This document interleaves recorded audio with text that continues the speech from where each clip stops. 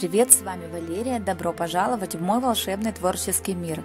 В канун Нового года хочу поделиться с вами своей новой идеей использования термоклея в качестве наполнителя для молдов.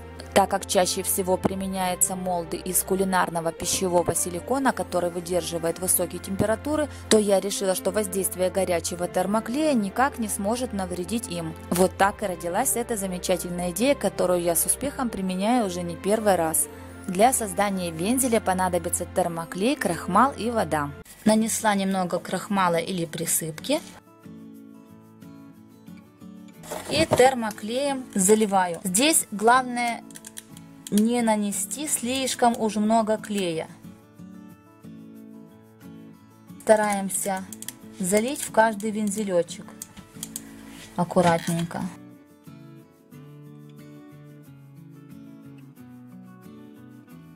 Ждем, пока она чуть-чуть остынет.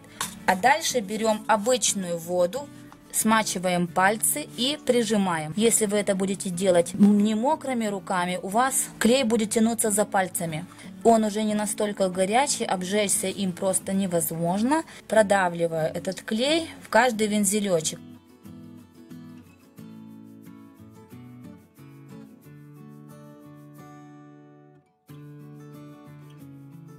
После того, как клей просох, необходимо тряпочкой промокнуть воду. И теперь уже долить клей там, где у нас выемки. Как бы выровнять поверхность. Также берем воду и равномерно разглаживаем клей.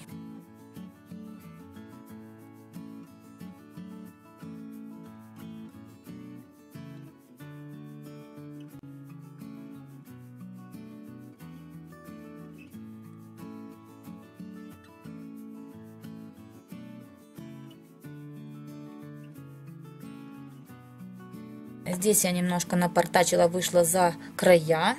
Но это совершенно не проблема, так как лишнее элементарно срезается острыми ножницами. Теперь такую фигурку я могу порезать на части и использовать в творчестве. Так как вензеля получаются гибкие, то они подойдут особенно для полукруглых поверхностей.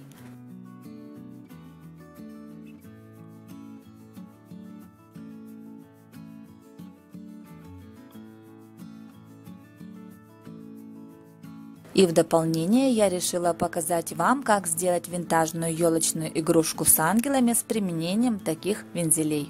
Для работы нам понадобятся следующие материалы. Круглая основа, акриловый лак, салфетка с ангелами, акриловые краски, спонж, кисточка, одношаговый кракелюр, готовые вензеля из термоклея, быстро сохнущий клей, а также ленты и стразы для декора. Приступаем к работе. Заготовку с обеих сторон окрашиваем бронзовой или коричневой краской. Далее, после высыхания, наносим одношаговый кракелюр, следуя указаниям в инструкции.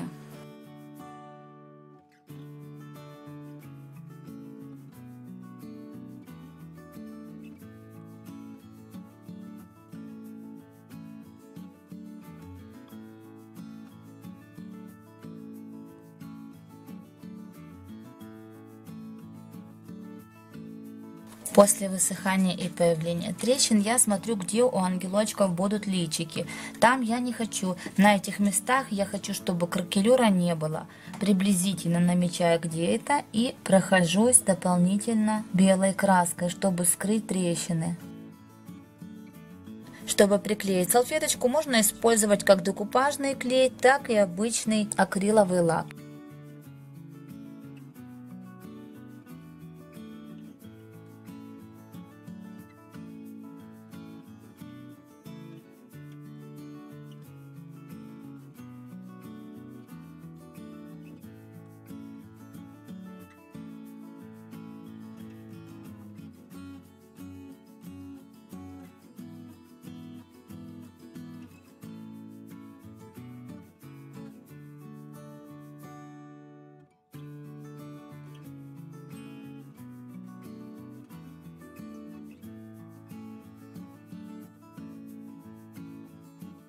Детальки окрасила и приклеиваю полимерным клеем. Конечно же, можно приклеить термопистолетом, но я все-таки хочу, чтобы было надежнее, поэтому приклеиваю именно полимерным клеем.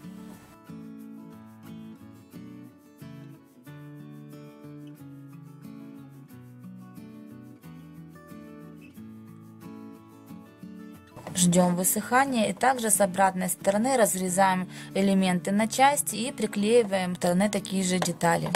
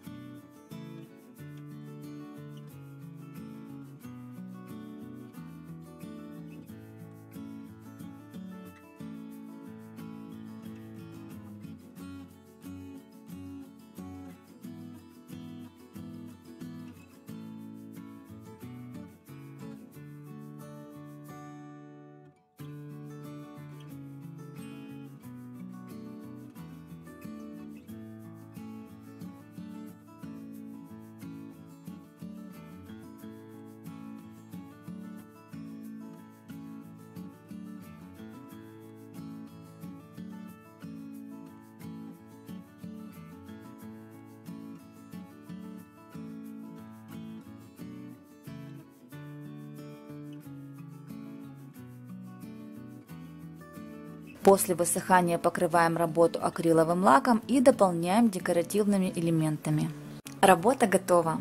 Благодарю всех вас за то, что вы были и остаетесь со мной. Благодарю за поддержку, за просто безграничный океан теплых слов и пожеланий. Мне очень-при-очень приятно. От всей души желаю вам в наступающем году волшебного настроения, мира, сердечного душевного тепла, крепкого-прикрепкого здоровья. Пусть мечты превращаются в реальность. Пусть близкие люди всегда вас поддерживают и понимают. Пусть невзгоды обходят вас стороной. Любви вам, мира, добра, всех благ, исполнения желаний, приятных событий, улыбок, успеха, везения, чудес и всего самого-самого волшебно прекрасного. До новых встреч в новом году!